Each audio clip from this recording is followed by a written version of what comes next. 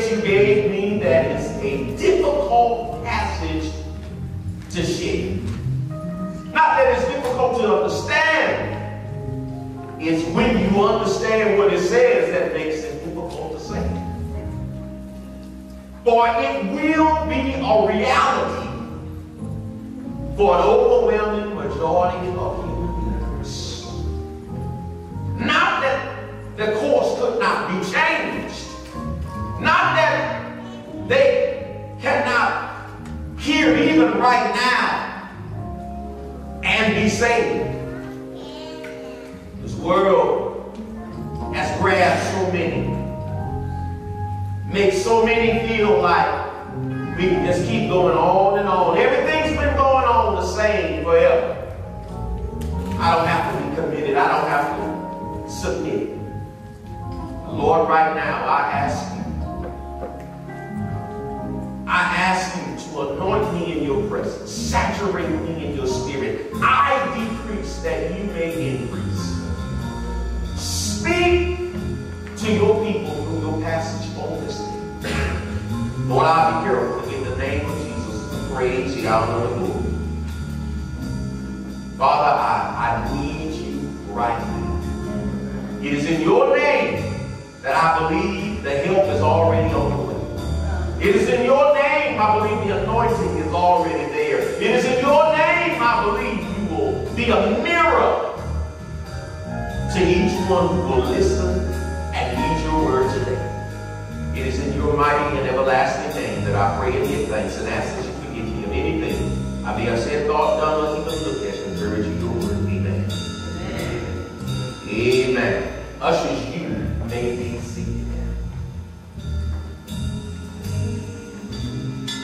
I remember taking my daughters, both of them, to a couple of birthday parties when they were in grade school. And the parents of the child, they lived in a private gated community. Now when you attempt to go to the home of someone who lives in a private gated community, you will need an access code in order to gain entry. Or when you arrive at the gate, you're going to have to speak to the guard at the gate. Now the guard will call the person who lives in that private gated community. And even though you may tell the guard that you know the people who are living there, but if the person who lives there in that private gated community, if they say they don't know you, you will not be allowed to go through the gate. Now, if you view this illustration as it relates to heaven, we can say all day long here on earth that we know Jesus. But getting into heaven requires Jesus knowing you. As a pastor, the question that I ponder most, especially in what I truly believe we are living in the literal end of the end times. The question that I ponder most is are all the members and the visitors of the church God has blessed to pastor Lee McKinney, First Baptist Church. Is everybody saved? We can pray that people get that are sick be healed, and that's a good prayer. We can pray those who don't have a job be employed, and that's a good prayer. We can pray for those with wayward children, and the children would come back. That's a good prayer. But all of those things without Jesus simply means temporary, uh, uh, uh, temporary pleasure or temporary uh, blessing granted on earth with something more eternal that is lacking.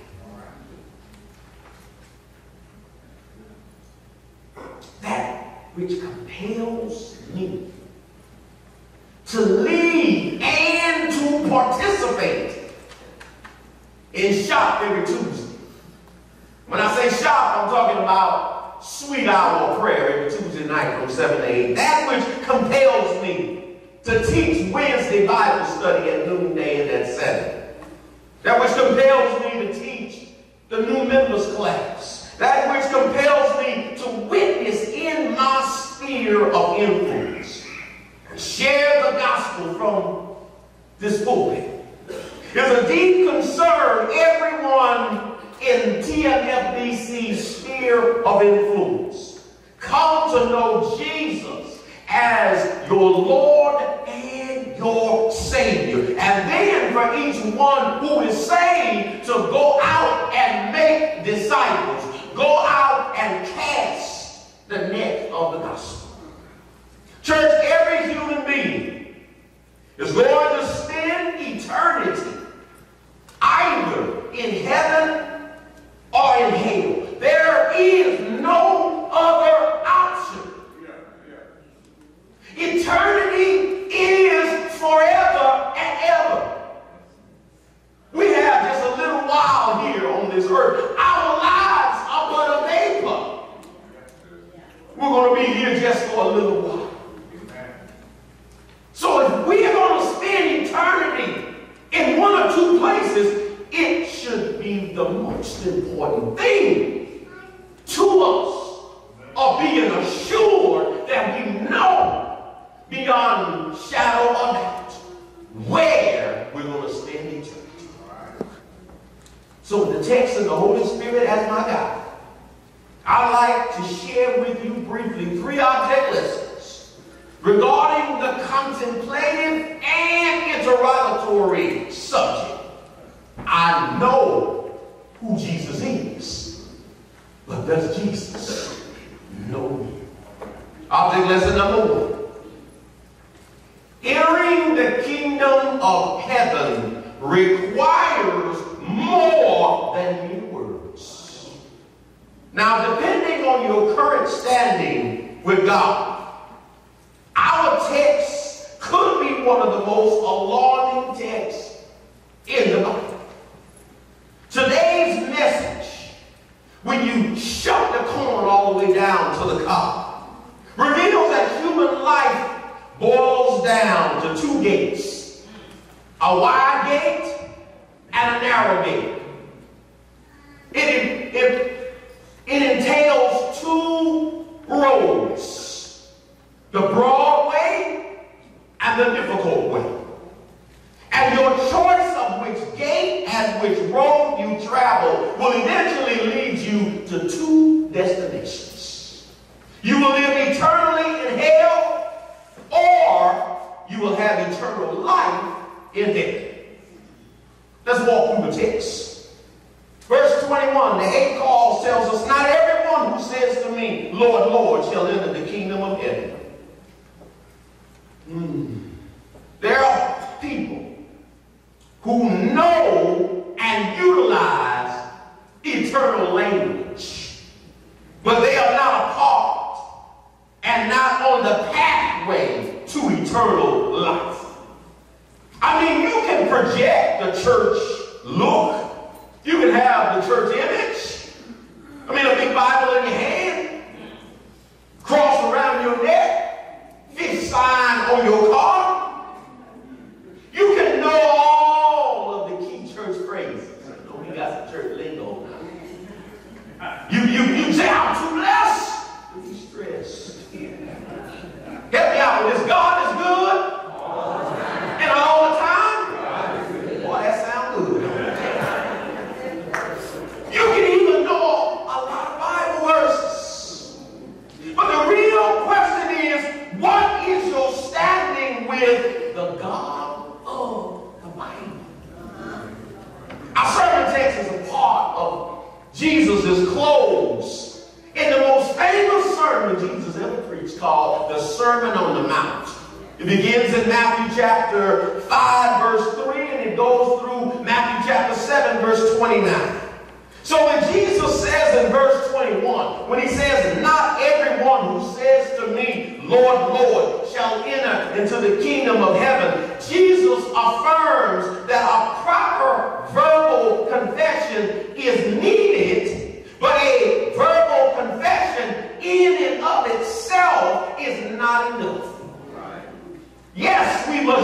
the language of Lord, Lord. We cannot be saved without it.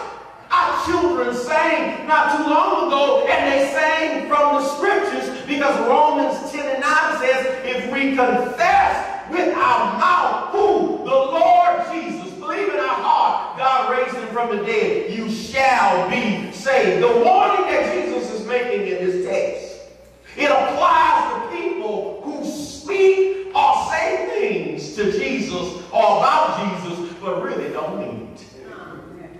They quote information, but that information that they quote has not resulted in a transformed life. It isn't that they believe Jesus is the devil. They simply say the words very superficially.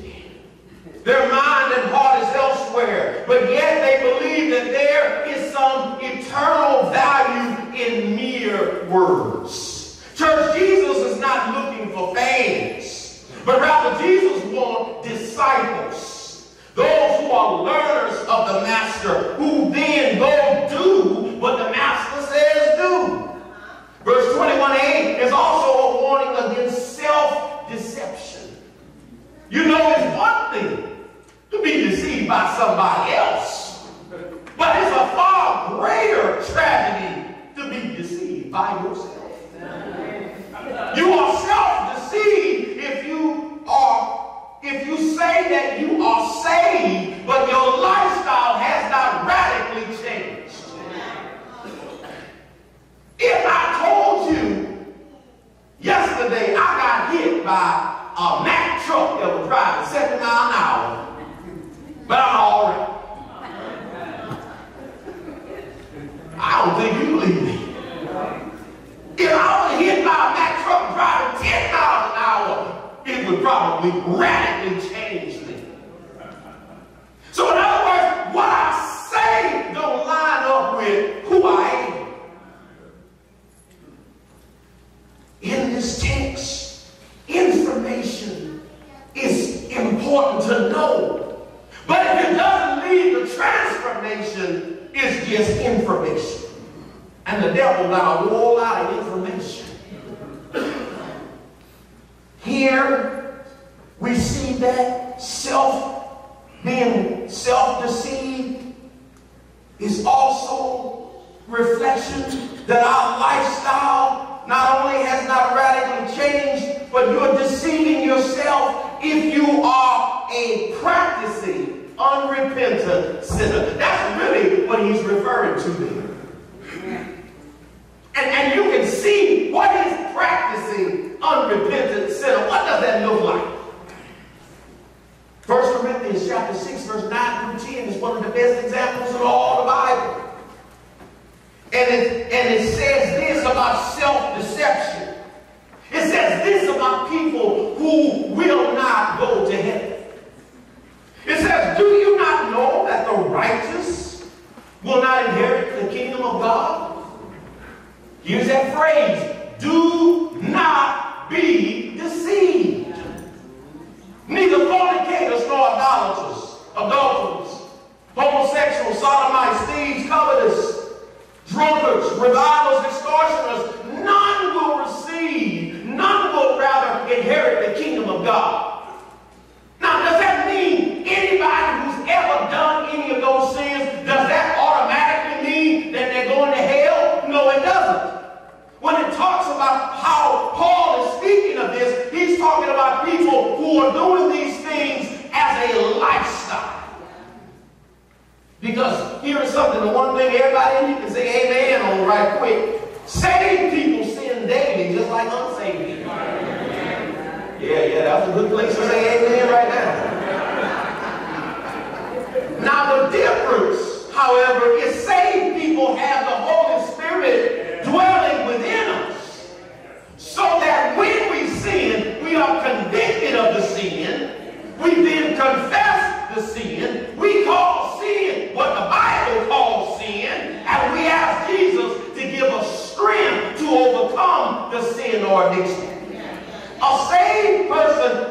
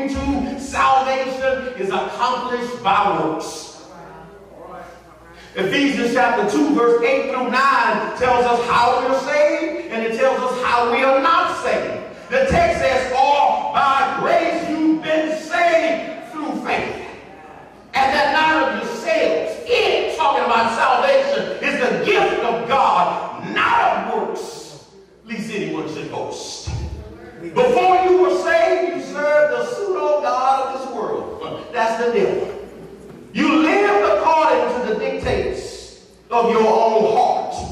You did what you wanted to do regardless of what the Bible says. But when you got saved, you came under the authority of Jesus and his word. You realized you were bought with a price. What was that price? The shed, atoning blood of Jesus on the cross called Calvary, where he went and died for every sin, past, present, and future. Therefore, you don't belong to self anymore. If you are saved, you have residing inside of you the Holy Spirit who will lead you to adhere to Ephesians 2.10 which says, for we are his workmanship. We've been created in Christ Jesus for good works, which God has prepared beforehand that we should walk in them. Notice it said for good works, not by good works. Once you save, you do good works. You can't do good works to get saved. In verse 21, Jesus, after the crowds started gathering around him, you know, one of the things that I find most, one of the more interesting things I love to read when I'm just reading for, for, for both knowledge and just, just, just in meditation, go read what Jesus oftentimes said when a whole lot of people start following him. It's very unlike how we do it in the church. When, when, when a whole lot of people start following Jesus, Jesus would say something like this, Madison. He'd say, birds have nests. Uh, foxes have holes. But the Son of Man has nowhere to lay down his head. In other words, he wasn't promising everybody you're going to be healthy, wealthy, and prosperous when you follow him. Because he already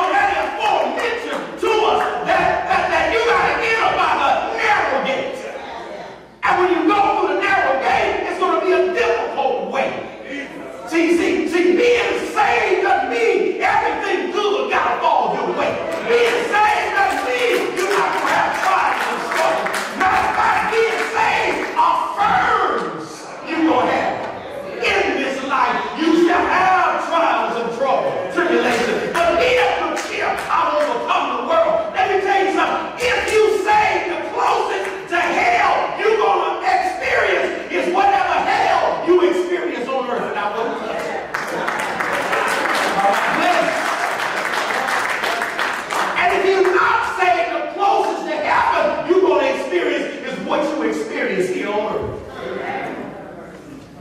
Mm.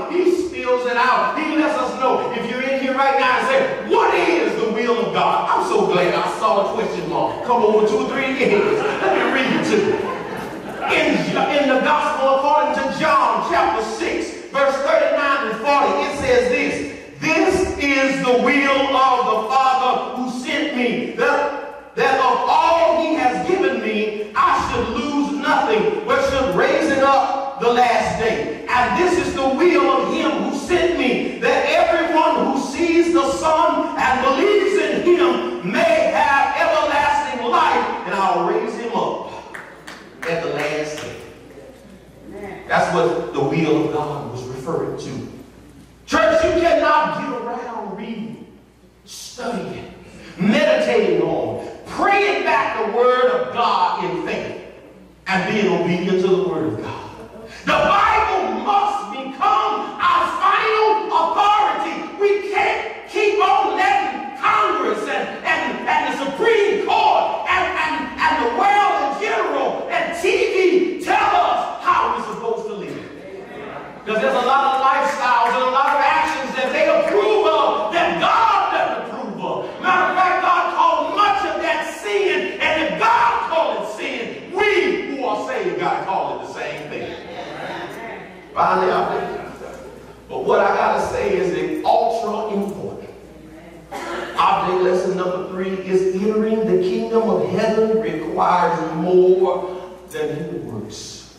It requires more than mere words. It requires being obedient. And it requires more than human words. It's right here in verse 22.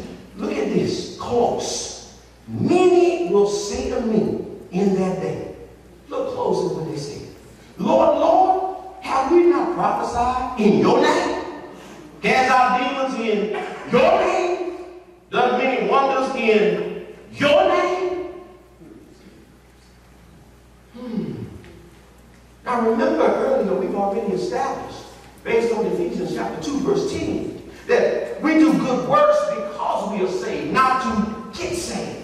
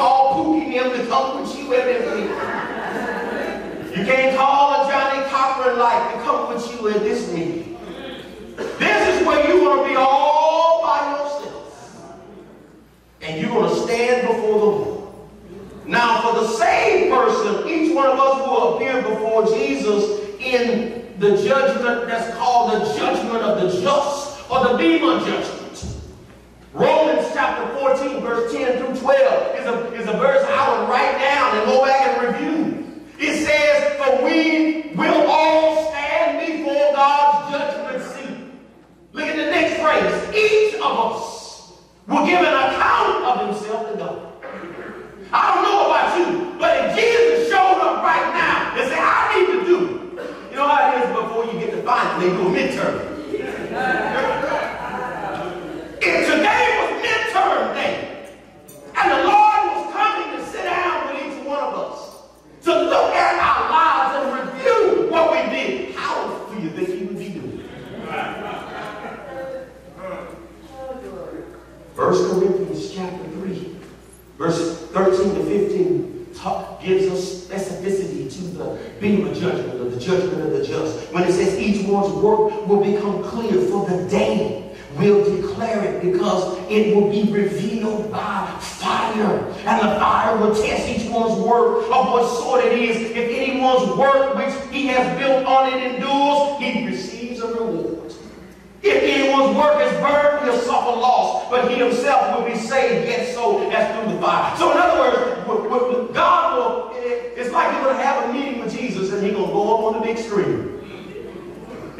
show you your life on the big screen.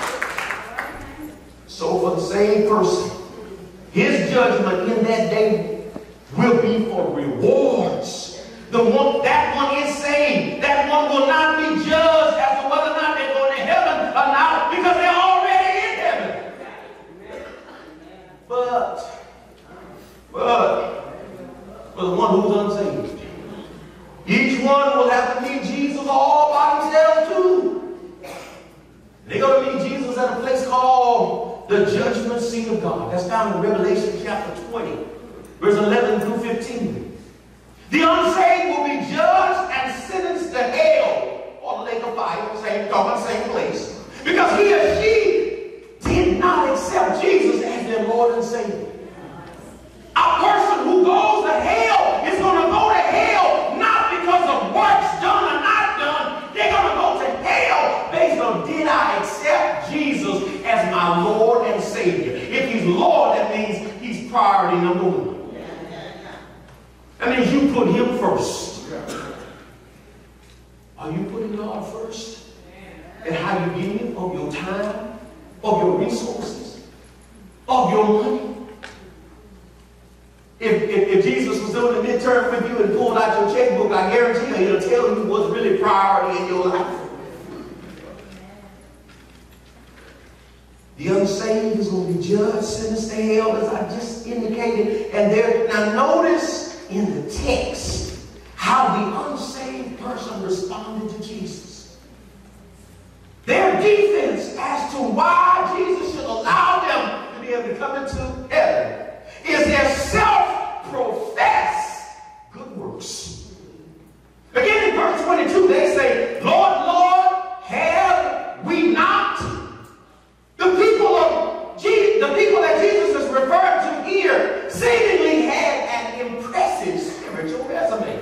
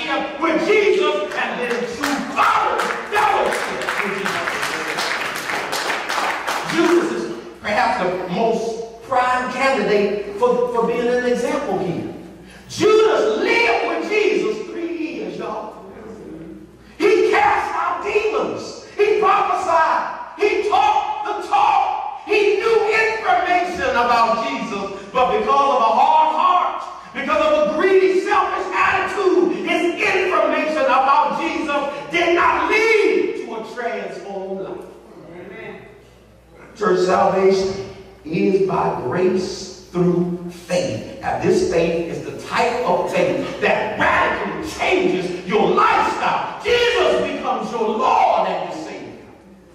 You cannot work your way into heaven. And any work apart from Jesus and the Holy Spirit anointing is dead works. That is why Jesus says in verse 23, and then I will declare today, I never knew you. Depart from me, you who practice lawlessness. Church, there is but one basis for salvation. It isn't mere verbal confession.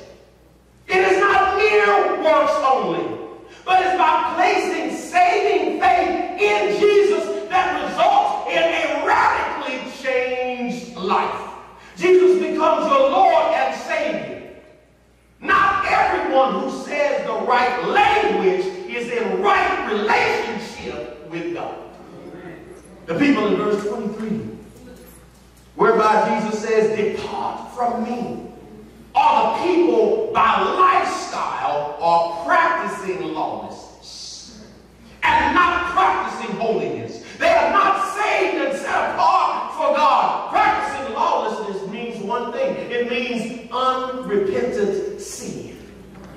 They are not struggling with a sin. They do not want, they do what they do knowingly that is sin, and they suppress the truth as stated in Romans chapter 1 and verse 18. Again, we all sin, but because of the Word of God and the Holy Spirit dwelling inside of the saved person, we have the means to know what is sin. How do we know it? The Word of God determines it. And we'll have the power to overcome the sin. That's the Holy Spirit as we pray back the Word and submit to prompting of the Holy Spirit. Attending church, working in the church, giving generously to the church, being baptized are all things we ought to do, but that does not in and of itself affirm that you're saved. Romans 8 and 6 says this. I've jot this one down. The Spirit Himself bears witness with our spirit that we are children of God. If there's no Holy Spirit working in you, you're not saved. That is where the power comes to be able to resist the temptation. That's where the knowledge will come for us to be able to know what He wants us to do, where He wants us to go. It Comes from the Word of God as we pray back the Word, and the Holy Spirit will then lead us. We say it all the time, Lord, lead and guide me. Now, if you are saved, you will also bear fruit of the Holy Spirit's presence in your life. You will bear love and joy and peace and long suffering and kindness and goodness and faithfulness and gentleness and self-control. Now, now, now, you may not bear them all equally well. Don't look at nobody who, might uh, have a little, little, need some more work in any one of these areas, and you assume that they're not saved because we are all, if you if, if you if you truly saved, you're also walking around with a big old sign over your head saying "Work in Progress." And, and all of us got something that, that, that God is working on in us. That's the very reason why we have so many trials and tribulations, is because God because it'll draw you to Him. You'll start praying, and when you start praying, He'll start working on your character. He'll start showing you. Quit praying and asking God to change somebody else. Start with the man in the mirror or the woman in the mirror. When you see you for who you are before God, you won't be so judgmental on other folk.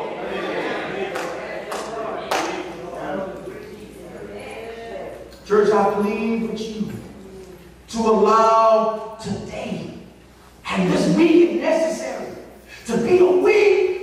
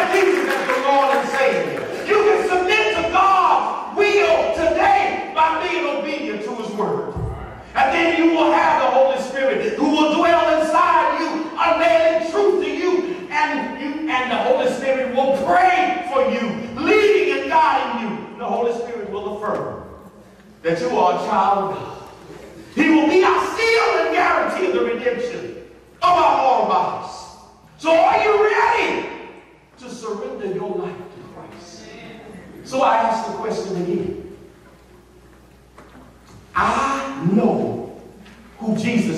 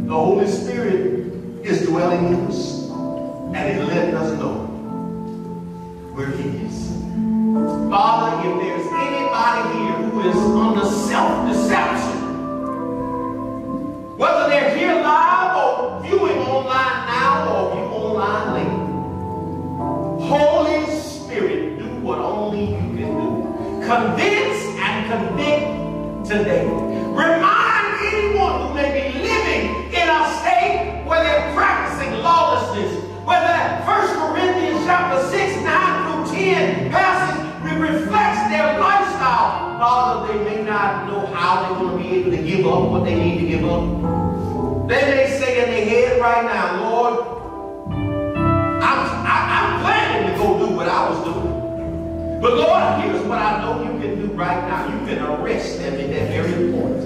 If they surrender to you and say, Lord, I, if you don't come in, if you don't show up, if you don't do something, I'll be back to doing what I was doing. But if you surrender to you, your call is out of darkness into your marvelous life. Lord, don't let your people come to church Sunday after Sunday after Sunday in a self I pray right now that your Holy Spirit would affirm those who are saved and of those who do not get that affirmation. I pray they realize that they're not saved, that they need to surrender to you right here and right now. Father, I know you desire that none perish. So I know you're willing and able to save anybody. Have your way right now. It is in Jesus, mighty, everlasting, life transformational name, that I pray and I confess. Amen. Let's give the Lord.